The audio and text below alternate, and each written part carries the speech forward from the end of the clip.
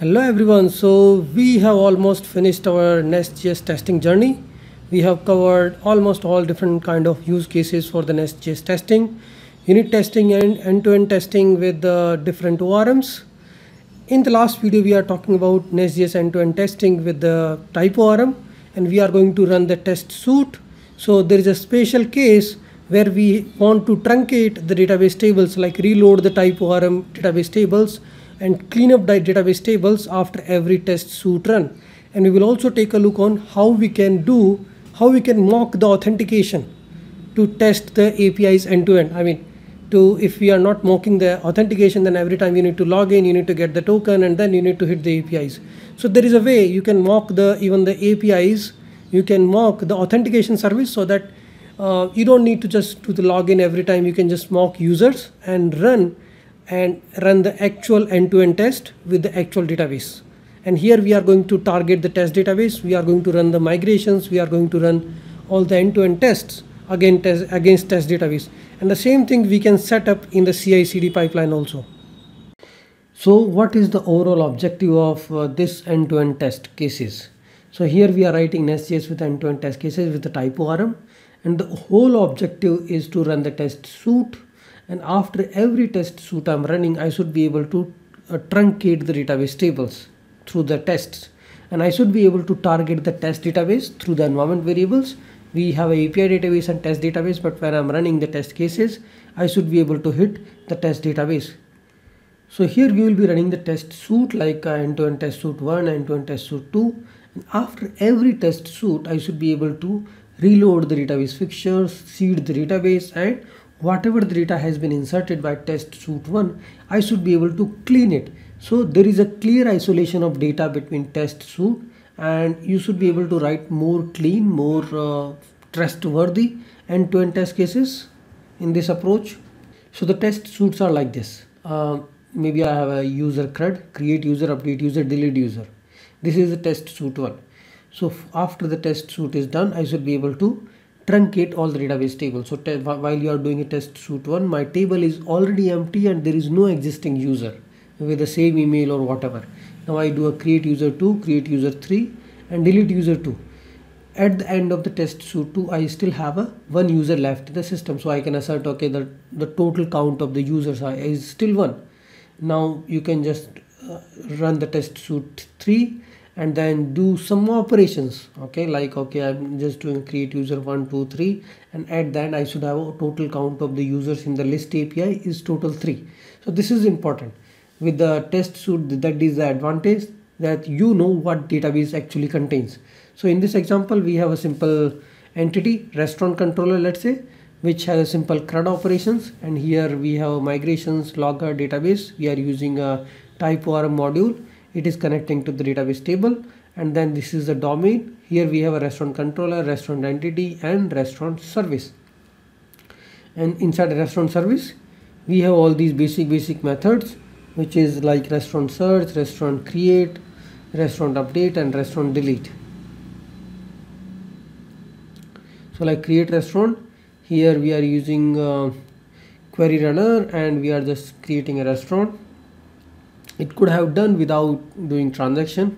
Maybe earlier I was having more code here. So now create restaurant update restaurant delete restaurant. That is actually the API endpoint and search restaurant. Those are already exposed through the Nest.js controller. Now what we need to do how we can simply write the end-to-end -end tests for them. So this is the restaurant CRUD already we have. We also have auth middleware in this whole process right so what do we have is authentication already enabled but authentication is not provided by in-house. It is like okay you will be getting token from once the authentication is done and trying to hit the restaurant apis so token is externalized. What we have here is that while accessing this whole system whole api system you will be passing the authorization token. If the token is not there i'm just sending you missing auth header which is bad request. Otherwise I will be validating that uh, using init method. So here currently I'm not doing it I'm just mocking it. But actually how it works is let's say you are sending a auth0 token then this auth service dot init should really validate okay what is the token is valid or not or something like that. But there is one important aspect about the testing. So let's say your application has authentication and you are writing end-to-end -end test cases. So every time you have to log in get the token and then pass the token to the your actual apis while writing end-to-end -end tests. But we can fix it. You don't need to really do the authentication every time. What you can do is sometimes the application authentication system is totally different and you cannot do those kind of tests here. So what we will do in the in the end-to-end -end tests we can mock your authentications end-to-end -end completely. So you don't need to worry about getting the token from somewhere we can mock the token. We can just you can just pass the random string. And what that string will contain is that string uh, because we are overriding this init method of auth service and we will say okay whatever you send just send the some string and we will return you the user id so that is what happening here.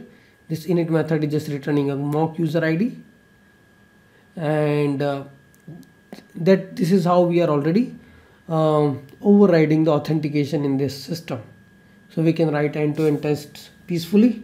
There is no we are not currently dealing with dealing with the uh, any kind of authentication system where we have to validate and check the validity of the token coming to the APIs but if we need to override it we can write it something like this. Let's say the o overall logic is there. In the auth service to validate the token uh, maybe you are getting the token from auth0 service and here we have written the proper logic to validate the token and check the token expiry and everything. So what we can do is we can override. We can provide the mock service something like this and here there is a init method. So we can just provide our mock implementation of init method here in this uh, process. So provide auth service and this is the use value so whenever you are going to call init I'm going to return you this mock user ID for all your end-to-end -end tests so using this we have actually bypassing we are actually bypassing the end-to-end -end tests bypassing the authentication sorry so to reach to the controller and routes, what do we have? In the request lifecycle, we have middleware, we have guards, and here we are using middleware. What the middleware is doing is checking, okay, you are passing authorization header with the JWT token. If yes, the token is valid and representing a valid user, okay, then you can go and access the routes. So here, this is how we are setting up the end-to-end -end tests API v1 health this is health check we are doing so create testing module importing app module and then creating nest application and then it is using supertest request app.get HTTP server will give you the server and then you can just do a dot get dot put dot post and just you can expect an assert so the basic testing and here is this is our restaurant API end-to-end -end test so here the important thing is test utils. So I'm using a specific library test util or the specific code which I'm going to run after each execution of the test and test utils are doing nothing but because we already know how many entities we have we can write a simple utility that will actually do the truncate of the type ORM entities. So here I have created this database service with the database module that is providing these different utility methods get repository get all repository with metadata and the close the connection get repository because before truncating that entity or you need to either get all repository iterate them or get a single entity and then do the run the query on that.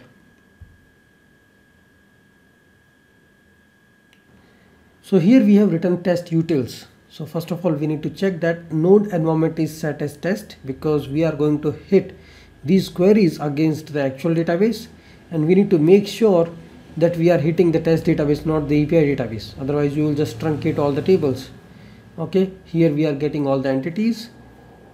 And then we are calling reload fixture. Reload fixture is first cleaning all and then loading all. Cleaning all is just truncating the tables one by one by looping on to all the entities. You got the entity then get the repository and do the clean.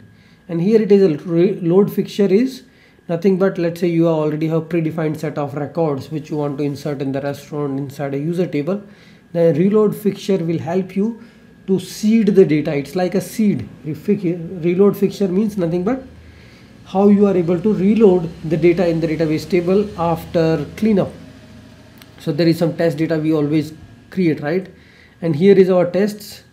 What we are doing is we are doing a override provider auth service and we are overriding the implementation of init method of auth service that is giving you the mock value using testutil.get random number. Because in your actual code you will be validating the token. But here I'm running end-to-end -end tests and I can play with I can play with uh, overriding the init and giving you the random user object with the okay user ID auth ID or something like that. So here you can see we are using the providers test utils and database service. Because test util and database service we are going to use heavily and here you can say we are using await test util dot reload fixture. What actually it will do is it will actually help us in cleaning up the database after every task task execution. And auth provider we are already overriding to bypass the authentication process with our mock token. So now I can write a simple end-to-end -end test for the restaurant. Here you can see what I'm doing is app.get HTTP server and hitting the the restaurant post restaurant delete update or list all the restaurant. So here let's fix the postgres database url and what i'm doing is npm run test. What actually npm run test should do according to you? It should be able to run the test migration right? Because we need to populate the tables in the test database. So we should be able to hit the actual apis onto the test database so as we discussed, there is a middleware also. So what we will do is we will try to protect our APIs. Except the health check API, we are going to protect all the APIs with this authentication middleware, which is checking, okay, you should pass the key token uh, in the authorization header, the access token, and that should be valid. Currently, we are just mm, providing a mock of implementation of it and this auth middleware is available for all excluding one public route which is a health check route. So that also we can do the testing. That okay when you are hitting health check route you are getting the successful response. And when you are hitting the restaurant API endpoint then you are getting unauthorized until unless you are not passing the actual authorization header. Okay? So simple test that if if authorization header is present it will allow you to access. If not it should give you unauthorized. So here we need to fix an STS dependency that uh, auth middleware should be a part of application module. That we will fix. Now we also have to import the auth module. So this is the fix we are doing. We have added auth module in the domain module and we have also added auth middleware because auth middleware is injectable we need to add it in the providers. And we have to add auth module so that we should be able to access auth service in the auth middleware. Just an SCS resolving the dependencies. So we need to pass the authorization header if that is not a public route. And how can we set authorization header? You can just use a simple uh, request app.get http server dot post restaurant and then dot set so dot set is actually used to set the cookies, authorization header, all these properties and then dot send restaurant. So the first test, test suite is create restaurant and then get restaurant and the length should be one. Here let's say, let's say I'm increasing the, the length of the restaurant. Here I'm creating a two restaurant. I'm passing the auth token. So this, this should be, I'm just doing a get. First I'm creating and then I'm getting it in the second test case, what I'm doing is I'm just trying to simply get it. So why there is a length 0? Because we have test utils. In the second test suite, we have already truncated the database tables. So when you are trying to get the restaurant, your table is still empty and you the length of the restaurant you are getting is 0. So some of our test case is failing. Let's check. I think the endpoint we need to check it's health, not API v1 health so if you see we'll just replace it to health because this is the url we are excluding. So that is important. What which endpoint you are excluding forward slash health right? So change your health check uh, controller and point to the same endpoint forward slash health and then add the same in your test cases because this is the URL where you can X, X hit it without setting the authorization header and it should giving you the status code 200 now the test case should pass this is the the public endpoint we have.